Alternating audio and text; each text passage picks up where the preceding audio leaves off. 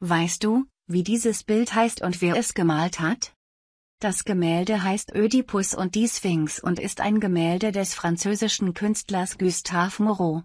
Ein offizieller Salon stellte es im Jahre 1864 erstmals aus. Mit diesem Bild, das die Schlüsselszene des antiken Ödipus-Mythos zeigt, wurde der Maler erstmals einer breiten Öffentlichkeit bekannt.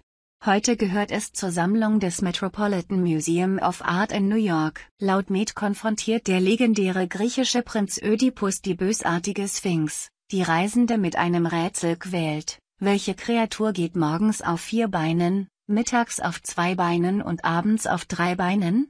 Überreste von Opfern, die falsch geantwortet haben, verunreinigen den Vordergrund. Die Lösung ist der Mensch, der als Baby krabbelt, im Erwachsenenalter aufrecht schreitet und im Alter einen Stock benutzt. Moreau hat sich mit diesem Gemälde im Pariser Salon von 1864 einen Namen gemacht.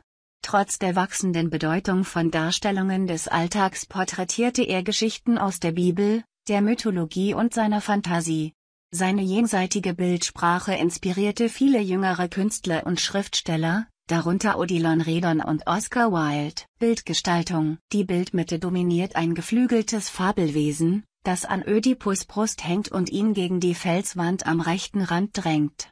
Dieser, in eine drapierte CH Lamis gehüllt, stützt sich auf seinen Speer und blickt der Sphinx direkt ins Auge. Die beiden Protagonisten sind ganz figurig zu sehen. Ein plötzlicher Abbruch, aus dem eine Hand und ein Fuß eines Toten ragen, distanziert den Betrachter vom Geschehen. An einer Säule am rechten Bildrand windet sich eine Schlange zu einem Schmetterling empor und links und rechts wachsen Sträucher, Feige und Lorbeerbaum. Links im Hintergrund die felsige Enge, durch die der Weg nach Theben führt. Deutung Im zugrunde liegenden Mythos lauert die Sphinx am Weg nach Theben Reisenden auf und stellt ihnen ein Rätsel, scheitern die Kandidaten, werden sie zerrissen. Die Sphinx hat Ödipus ihr Rätsel eben gestellt und wartet. Ödipus fixiert jedoch unbeeindruckt das Fabelwesen und wird bald die richtige Antwort geben, worauf sich das Ungeheuer in den Abgrund stürzen wird. Im Vordergrund liegen die Leichen derer, die diese Antwort nicht wussten. Ein Fuß und eine Hand sind zu sehen, außerdem ein Stück roter Stoff und eine Krone, Ruhm und Macht sind vergeblich und belanglos. Um eine Säule am rechten Bildrand windet sich eine Schlange, ein zur Erde gehörendes, CHTH Onischas, todbringendes Tier, und darüber fliegt ein Schmetterling, das Symbol der unsterblichen Seele. Die Sträucher links und rechts sind eine Feige, die mit Saturn verbunden wird und damit mit der alles verschlingenden Zeit, und der Lorbeer bedeutet Unsterblichkeit. Moreau erläutert sein Konzept so, der Maler beschreibt den Menschen in seiner schwersten Stunde, wenn er sich vor das ewige Rätsel gestellt sieht. Es bedrängt und umklammert ihn mit seinen furchtbaren Klauen. Doch der Reisende, stolz und gelassen dank seiner moralischen Kraft, sieht ihm, ohne zu zittern, in die Augen. Es ist die Chimäre des Irdischen, nichtig wie die Materie und ebenso verlockend wie sie, dargestellt als jener zauberhafte Frauenkopf mit Flügeln, den Ausdruck des Ideals, aber sie hat den Körper eines Ungeheuers, eines Raubtiers, das sein Opfer zerreißt und vernichtet. Ausführung und Vorbilder. Untypisch für Moreau ist die analytische, traditionelle Methode mit ersten Bildideen, Entwürfen, Studien, Skizzen und Quadrierung. Während er andere Bilder grob mit dem Spachtel ausführte, arbeitete er an Ödipus und die Sphinx rund vier Jahre. Er schreibt dazu in seinen Notizbüchern, Ödipus ist eine Figur, die streng nach der Natur gestaltet werden muss, denn man wird die Erhabenheit und das Ideal umso besser erreichen, je mehr man sich dem Menschen annähert, so wie er ist. Direkte Vorbilder sind verschiedene Fassungen von Jean-Auguste Dominique Ingres aus den Jahren 1808 bis 1825, von denen Moreau vieles übernahm, den auf den Boden gerichteten Speer, die drapierte CH Lamis, griechischer Überwurf, die Leichenteile im Vordergrund und das Aussehen der Sphinx.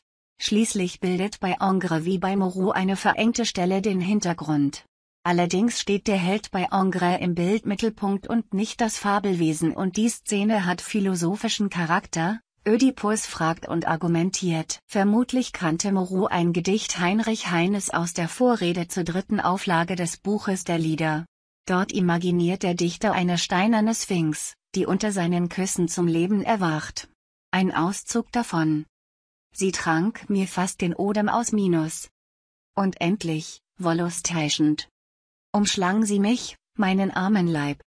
Mit den Löwentätzen zerfleischend. Der zugrunde liegende Mythos. Ein Orakel warnt König Laios von Theben vor einem eventuellen leiblichen Sohn, denn dieser würde ihn töten. Als nun tatsächlich ein Sohn geboren wird, beschließen Laios und seine Gattin Iokaste ihn auszusetzen. Ein Hirte rettet jedoch das Kind und König Polybos von Korinth adoptiert es. Als der erwachsene Ödipus seinerseits ein Orakel befragt, prophezeit es, er würde seinen Vater töten und seine Mutter heiraten. Um dies zu vermeiden, verlässt er Korinth. Auf seiner Reise trifft er, allerdings ohne es zu wissen, auf seinen leiblichen Vater und tötet diesen im Streit. Damit ist die erste Prophezeiung erfüllt. Auf dem Weg nach Theben trifft er auf die Sphinx, die ihm ein Rätsel auf Leben und Tod stellt. Es lautet. Es ist am Morgen vierfüßig, am Mittag zweifüßig, am Abend dreifüßig. Von allen Geschöpfen wechselt es allein in der Zahl seiner Füße, aber eben, wenn es die meisten Füße bewegt, sind Kraft und Schnelligkeit bei ihm am geringsten. Ödipus antwortet darauf korrekt. Du meinst den Menschen, der am Morgen seines Lebens, solange er ein Kind ist, auf zwei Füßen und zwei Händen kriecht. Ist er stark geworden, geht er am Mittag seines Lebens auf zwei Füßen, am Lebensabend, als Greis, bedarf er der Stütze und nimmt den Stab als dritten Fuß zu Hilfe. Die enträtselte Sphinx springt darauf in den Abgrund. Die dankbaren Thebener krönen Ödipus zum König und geben ihm seine leibliche Mutter Iokaste zur Frau. Damit ist die zweite Prophezeiung erfüllt. Nach vielen Jahren bricht die Pest aus und die Thebener befragen ein Orakel. Dieses verkündet, dass die Seuche erst endet, wenn der Mörder des Laios das Land verlässt. Als sich herausstellt, dass Ödipus ein Vatermörder und der Sohn seiner Gattin ist, sticht er sich die Augen aus und verlässt seine Heimat. Details zum Kunstwerk. Titel, Ödipus und die Sphinx. Künstler, Gustave Moreau, Französisch, Paris 1826 bis 1898 Paris. Datum, 1864. Medium, Öl auf Leinwand. Abmessungen, 206,4 x 104,8 cm. 81 ein Viertel mal 41 ein Viertel Zoll, Klassifizierung, Gemälde. Kreditlinie, Vermächtnis von William H. Harriman, 1920. Zugangsnummer, 21.134.1 Details der Arbeit Die sich um eine Säule windende Schlange in Gustav Moreaus Gemälde Ödipus und die Sphinx, rechter Rand, Unteres Bildviertel. Der Schmetterling in Gustav Moreaus Gemälde Ödipus und die Sphinx, rechter Bildrand, mittig. Ausschnitt aus dem Gemälde Ödipus und die Sphinx von Gustav Moreau, obere Hälfte. Thank you.